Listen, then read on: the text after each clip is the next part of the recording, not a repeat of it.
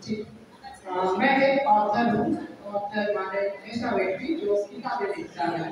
तो मैंने एक किताब लिखी है। यदि मैं आपको उस किताब के बारे में बताऊँ कि मैंने वो किताब क्यों लिखी उसके पीछे की वजह क्या थी तो उसके पीछे की मुख्य वजह ये थी जो आपने भी सहन की है कोविड और उसके बाद आने वाला लॉकडाउन वहाँ मेरे पास ज़्यादा करने के लिए नहीं था।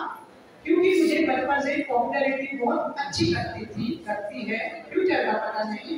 लेकिन कई लोगों का मानना होगा कि अच्छी बुरी लेकिन मुझे अच्छी लगती थी। तो मैं फिर से कुछ करना चाहता था। तो मेरे दिमाग में आइडिया आया कि कुछ किया जाए।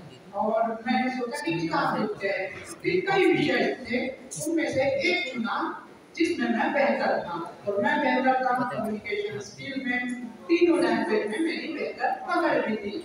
क्योंकि ढाई सौ से ज़्यादा लगभग उतने ही मैं प्रतियोगिता कर चुका था। पुरुषों से ऊपर जीत चुका था नेशनल डिस्ट्रिक्ट स्टेट और इंटर कॉलेज लेवल पर। तो मेरी समझ में आ रहा था कि यहाँ पे मैं अच्छे तरीके से अपना योगदान दे सकता हूँ और मैं इन सारी चीज़ों में बेहतर कौन सी चीज़ों में बेहतर हूँ? कॉन्फिडेंस क्या होता है? आपको बहुत सारे लोग अलग अलग चीज़ें बताएँगे कॉन्फिडेंस के बारे में। लेकिन क्योंकि ये मेरी आदत है, मैं बोलने लगता हूँ आपको भी एक चीज़ बता दूँ कि कॉन्फिडेंस कुछ नहीं होता है कॉन्फिडेंस एक्सपीरियंस होता है। किसी भी बारे में आपको उतना एक्सपीरियंस होता है, वही कॉन्फिडेंस के रूप में झलकता है।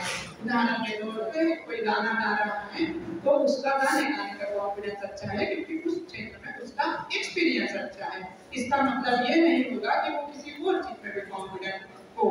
तो ये सारी चीज़ें थी लोगों को बोलने में डर लगता था, किसी को पब्लिक स्पीकिंग से डर लगता था। भिन्न भिन्न प्रकार की चीज़ें ये इससे रिलेटेड मेरी एक किताब है दिस इज़ माय बुक हम तो जीतेंगे इसका नाम है तो ये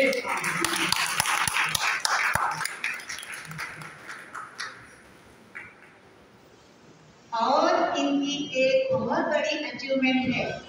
हरीश जी आपको आरएफपी के एग्ज़ाम के बारे में बताइए और यश भी बताइए। थैंक यू रिसेंटली मैं आरआरबी में स्केल वन ऑफिसर सिलेक्टेड हो चुका हूँ अभी तो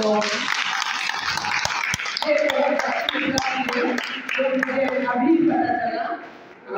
एक तारीख को तो ये बहुत अच्छी चीज़ है। तो कुछ ना कुछ ज़िंदगी में बनना पड़ता है, कुछ ना कुछ करना पड़ता है। तो मैं एग्ज़ाम के लिए प्रिपेयर कर रहा था और एक डेढ़ साल का समय लगा, पहले अटेम्प्ट में नहीं हुआ, दूसरे अटेम्प्ट में हो गया। ये एक अलग चीज़ है। लेकिन एक चीज़ और मतलब इस पर मैं थोड़ा सा बोलना चाहूँगा कि एक तो ये चीज़ है कि मैं ऑफिसर बन चुका हूँ और मुझे ये सवाल कई लोगों ने पूछा था तो मैं इस पर बताना चाह रहा हूँ कि मैं एक ऑथर भी हूँ तो आपको क्या सुनना अच्छा लगता है? तो मुझे पता नहीं है, मुझे ऑथर सुनना ज़्यादा अच्छा लगता है। बहुत सारे इमोशन जुड़े हुए मेरे इस चीज़ के साथ? तो ऑफिसर बोले तो ये स्केल वन ऑफिसर बने। हैं ये बहुत अच्छी बात है ये we are proud of you आपके अचीवमेंट्स के बारे में भी इन्होंने 2020 में इंग्लिश कैटेगरी में भारत का नंबर वन ओरेटर रहे हैं ये फिर सेकंड ईयर में जब गए थे तो उन्होंने स्टेट लेवल पर बहुत सारी कॉम्पिटिशन कॉम्पिटिशन जीती है ऐसे एशियन चैंपियनशिप में इन्होंने भारत को रिप्रेजेंट किया है और इनके लाइफ का टर्निंग पॉइंट बताइए मैं बताने के बदले आप बताइए। तो मिस्टर मॉरिस के बारे में। मिस्टर मॉरिस ये बात थी मतलब जब मैं बारहवीं में था पाँच साल हो रहे हैं लगभग तो तब मैं बहुत ही शाय टाइप का लड़का था और पढ़ाई में ठीक ठाक था। बोलना मेरी हॉबी थी ही नहीं। ना ही मुझे बोलना अच्छा लगता था।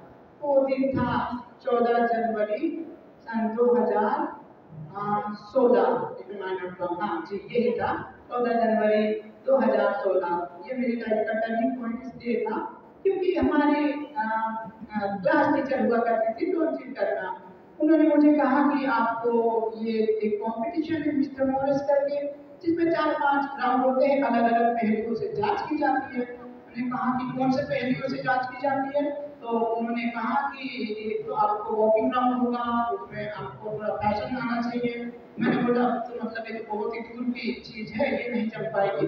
मैंने अपनी ओर से पूरी कोशिश की कि मैं ना भाग ले पाऊँ लेकिन मैम ने थोड़ी सी हल्के फुल्के लहजे में उनसे कहा कि यदि तुम पार्टिसिपेट नहीं करोगे तो ये आपका बोर्ड का साले वाले बारह दिन का साल है। और आपके बीस मार्क्स जो है मेरे हाथ में नहीं देने। तो अब मैं क्योंकि बारहवीं में था तो मुझे थोड़ा सा डर लगा तो मैंने डिसाइड किया। मैंने पहले तीन राउंड में ठीक परफॉर्मेंस नहीं किया था लेकिन मैं सिलेक्ट हो रहा था। एक राउंड था पैसे वाला। और मेरा ये मानना रहा है कि जब भी बात पैसे की आती है या मेरे विचारों की आती है यहाँ पर मैं थोड़ा सा आगे होता हूँ गोलों से।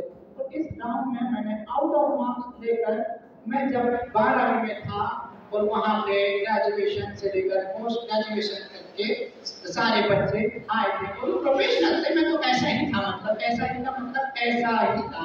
मुझे किसी चीज़ का ज्ञान नहीं था, और मैं यंगेस्ट स्पीकर बना था वहाँ पे बारहवीं में होते हुए, और आज भी मिस्टर मॉरिस का यंगेस्ट स्पीकर का रिकॉर्ड मेरे ही नाम में है, वो अब तक पूरा नहीं है। कॉलेज कॉलेजमध्ये जेव्हा कॉम्पिटिशन झाली तेव्हा मिस्टर लॉरेन्स म्हणून यांना तो किताब मिळालेला आहे not only that consecutive three years है?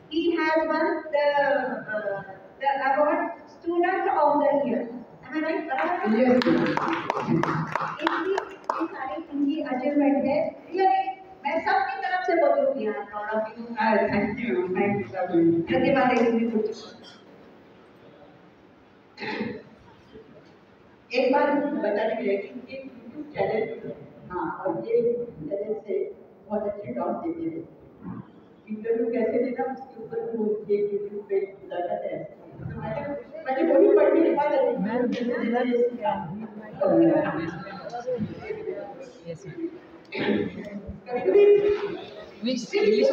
है। अरे Yeah. ज़िंदगी में सीखते रहते हैं। The app, Martin, yes, Ajay can see. Ajay can see.